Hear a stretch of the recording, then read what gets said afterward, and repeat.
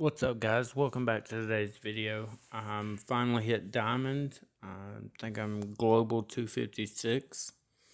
Um, using Sugar Minis base, so shout out to Amy. Genuinely appreciate it. Um, yeah, um, thumbnail says the great debate. Um, we all debated in Sugar Ship like over 2,000 messages um, about whether to get the second proto. I got it and uh, finally made diamond. Um, got it the other day on an eight times win streak into diamond. What did it was the flames. The flamethrowers were clutch. I'm still using rocket choppers with the critters and TD, but no GB. I don't have any GB. Um, probably get some, but I'm still debating on that or DVD. Um, really pretty easy once um, you get the critters. Um, I'm doing anywhere from like 252, 254 to 303, um, unless I just completely mess up an attack. Um, had three seeker fizzles um, on my way to diamond. Um, the flamethrowers really just kind of put me over the top. On that. See, I'm all I'm using the art or the barrage for is to either clear three art for the cannons. Um, in a in an attack coming up, I'll use uh, it to board a shock blaster, but for the most part, just critters and flares. That's all you really need um, to kind of get you where you need to be. Also, if you don't have to clear the shock blast, or not the shock blaster, but the uh, sky shield, don't. Like if you hit it without um, having to go, without having to destroy it, then just move past the thing, because it takes so long to BART. Bullets rarely in my attacks, but when he is, you try to make good use of him. It's just hard to get him into position because the rocket choppers are so much faster than bullet.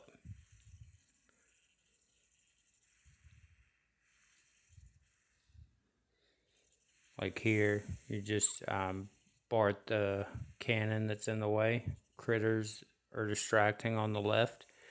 And I'm just going straight for the ERs forget the cannon because the critters are distracting the cannon. Uh, I actually faced Chicken to start the win streak. Uh, he's actually doing really well this season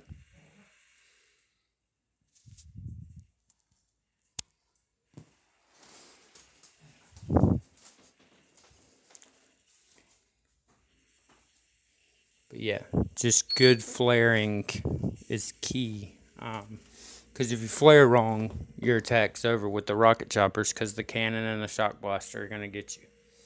Um, also, my uh, my music, I'm trying out a new editing program, and uh, the music does not um, work well on it for some reason. I'll get that adjusted though. Um, but yeah, um, seekers were a pain in my ass, like a blender in my ass until I got flamethrowers and it immediately just fizzles. Uh, so I recommend them immediately. It's amazing how big of a difference just a basic defense was for my push. I mean, because I have people getting like 230s, 218 and um, Seeker's fizzling. So, like, it's just night and day the difference. Flaring over here to the corner, dropping the critters by the two cannons. See, this is what I mean. If you don't have to take the sky shield, don't. As soon as the ER is down, I'm flaring the other ER. I think the shield went down anyways. But forget that thing if you can.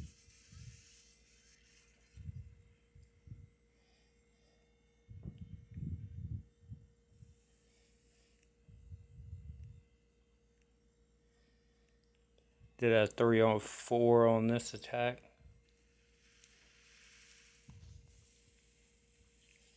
Critters. taking down the two ER. I already, I'm already looking ahead. I see the cannon that's going to be difficult, so we get that out of the way. We're flaring, getting ready for the critters. We're going to drop the critters right there so that the machine gun doesn't get them. Getting the ER going next to ER. Critters next to ER. Take it down once you get in the hang of it, once you have critters and you get in the hang of it, you can get in a groove where you're just consistently knocking them out. Um, this one was d- dirty. That's why it was a 254.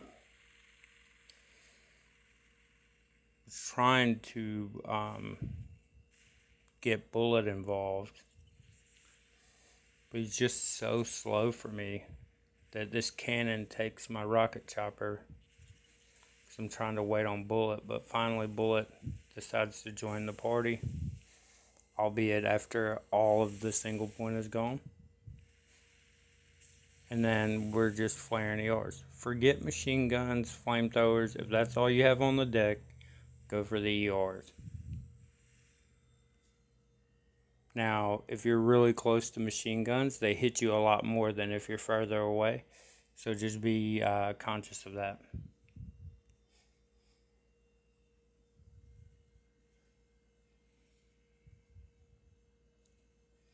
This was my boss fight.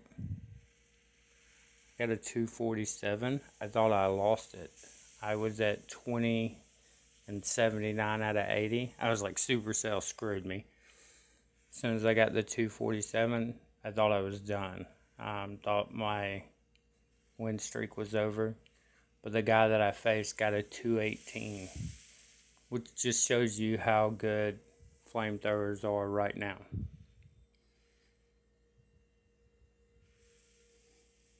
Then after that, you just go for the ERs.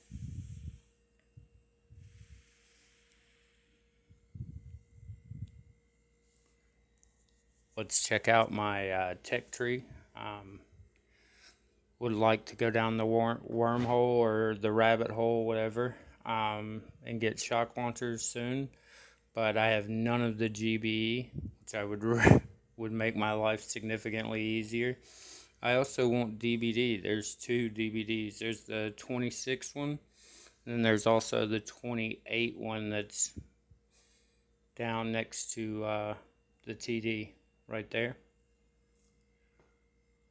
And then the GB going to 6.